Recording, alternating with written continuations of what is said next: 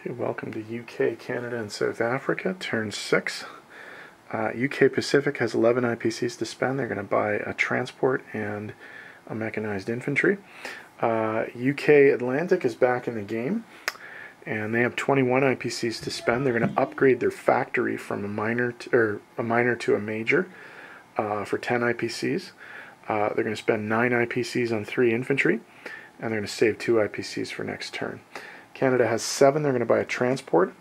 And um, uh, South Africa also has seven. They're going to buy an infantry and a mechanized infantry. Uh, all of the attacks uh, are walk-ins, so we'll just uh, say what those are and then move directly on to non-combat. Uh, in the Mediterranean, uh, the Brits are going to load up a mechanized infantry onto a transport and go to Sea Zone 96 and drop off in Libya the Canadians are going to go from Syria in their transport to Sea Zone 94 and claim Tunisia. Um, in the Pacific, on the Pacific side of the board, uh, the English are going to help out their Chinese allies and send a mechanized infantry from Kwai Chau to Shantung and liberate that, and a tank from Kwai Chau to Jehol and liberate that. Uh, so that's Oh, sorry, there's one more attack. Uh, the Canadians uh, are going to be liberating um, Malaya for their um, uh, for their allies. Okay, so uh, no dice to roll. So I'll be back in a second with non-combat. Right, non-combat for the British, the Canadian, and the uh, South African forces. The Canadian. Um, Destroyer in 106 is going to move to 109. Uh, the Canadian Transport in 109 is going to get the two infantry from the UK and scoot them over into Holland, Belgium for defense. The Destroyer in 91 is going to join the American fleet in Sea Zone 110. Uh, in the Med, the um, Battleship and Carrier in 98 are going to move to 94 to protect the Canadian transport. And the two cruisers and the destroyer from 98 are going to move to 96 to protect the British transport. Um, the other British transport is going to move from 98 to 81 so that it's a little bit safer there. Um, South African moves. There's an infantry in Anglo-Egyptian Sudan that's going to go up to Egypt. Uh, the mech infantry and the tank from Belgian Congo are going to come up to Egypt. And then way down in South Africa, the infantry is going, or sorry, the uh, uh, artillery is going to board the transport, and the transport's going to go to Sea Zone 72, pick up the guy from Kenya, and then proceed to Sea Zone 81 and drop off in Egypt. Um, moving east, the uh, infantry and artillery that were in uh, eastern Persia are going to move, uh, they're going to get on the boat and move to Sea Zone 39 and drop off in India. The um, mech infantry and the tank in India, along with the infantry, artillery, and anti-aircraft from Burma, are all going to end up in Yunnan. Uh, the three infantry from Kwai Chau are going to move into Hunan, and the two fighters and the tactical bomber from Kwai Chau are going to move into Kwangtung. Uh, oh, yeah, yeah, I think that's it. All right, so let me tidy up the board, and we'll be back in a sec.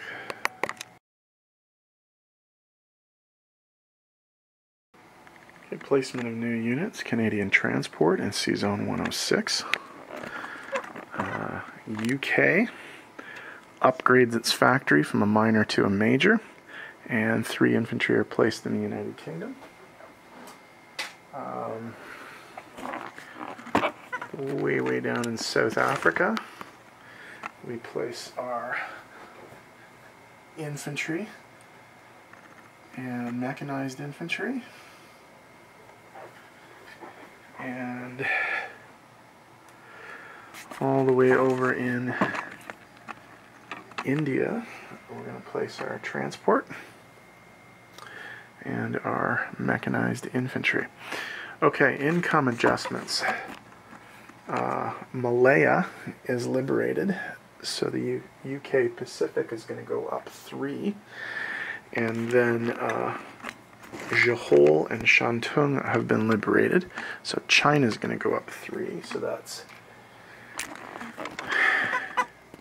UK Pacific from 14 to 17, China from 14 to 17, and then Japan from 35 to 29.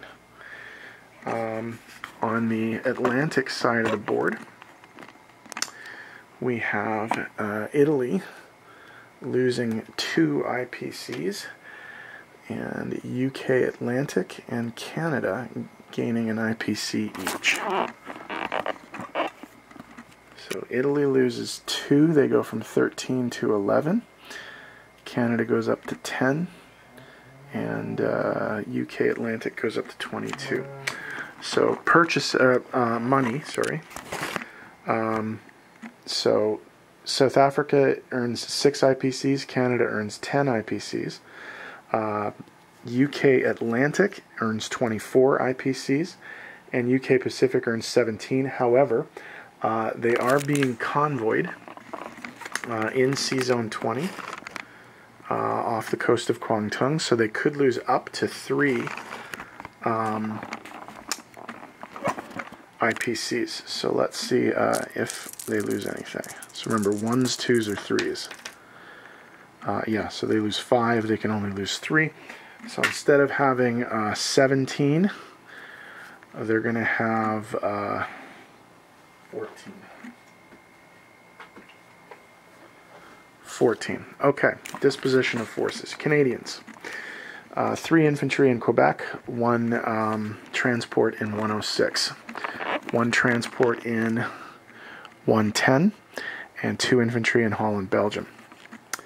Uh, one transport in Sea Zone 94, one infantry in Tunisia, uh, and then one infantry way, way, all the way down there in Malaya. So that's all the Canadian forces.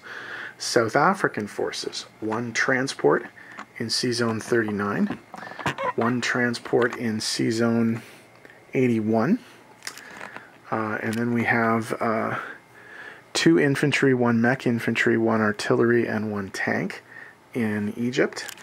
And then down in South Africa, we have uh, infantry and a mech infantry. I think that's all the South African units. Uh, British units. Okay, in the UK, three infantry.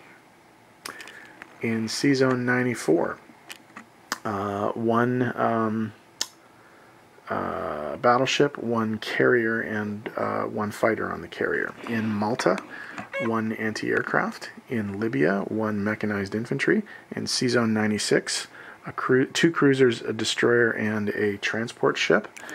In Egypt, one um, strategic bomber. In Sea Zone 81, one um, transport ship.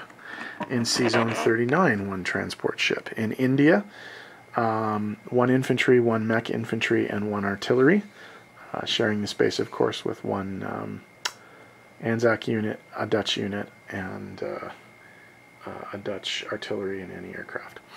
In Yunnan, uh, infantry, artillery, anti-aircraft, mech infantry, tank. Uh, Hunan, three infantry.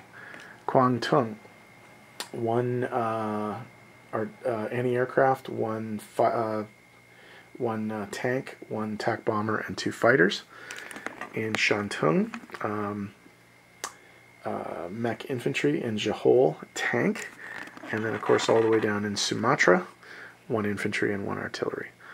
Uh, so I think that is all of the British, Canadian, and South African forces across the board.